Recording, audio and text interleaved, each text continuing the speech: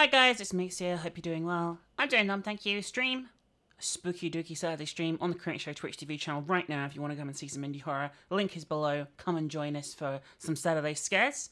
If you want to watch a video over on the Crinks TV channel, there's been a bunch of stuff happening. Wife versus Wife is now in the final stretch, and we are tied. So what the fuck is going to happen in this episode? This was uh, Mount Your Friends, a classic, and as uh, you'll find out in the video, Krism has a deep dark secret. Here's a teaser if you enjoy. Make sure you go and watch Mount Your Friends over on the channel and subscribe to Crinks TV where all our videos are now. Thanks for watching guys. Hope you enjoy. Oh, Bebe, I like the the S and M look you got going on there. Excuse me, why are you wearing the same hat as me? Um, excuse me, this hat we agreed in free character creation. The rainbow hat was mine. we were like, because you like big bouncy swirly balls, that I am more more allowed to use the rainbow hat than you. That was the discussion, right, Bebe? No, it wasn't actually. What are you doing to my guy? Stop touching him. Well, listen. Listen. Sometimes, sometimes to get ahead in life, you just gotta touch a man. And Oh, really? Huh? I'm glad. I'm, I'm, Krism exposed. actually mean Krism exposed live on Wife versus Wife. It's not live. Live.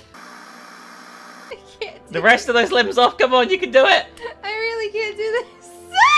Do it! Oh, you had it! You need to do it before it runs out of time! Yes! Bebe, up in the game. I did the practice round on a goddamn keyboard and now I'm using the goddamn fucking. Uh. So, Bubba, you ready to, uh, think about that forfeit already, huh? I might actually because I suck at this. Think about the forfeit, Bubba. I don't even know Oh no. Oh no. what your plan is. Oh, exactly. I don't want you to. it's probably just gonna be touching my butt. That's usually what your plans are. I, I should have. Oh, I, I thought I was, I was panicking there. I thought I was nearly out of time. Oh, look, it's down to the man with the wonderful glasses. You're having real trouble, like, getting along the floor here. I really am! Oh my fucking god, come on! Okay, there you go, there you go. You, you got this, you got this. Okay. Gotta just not panic.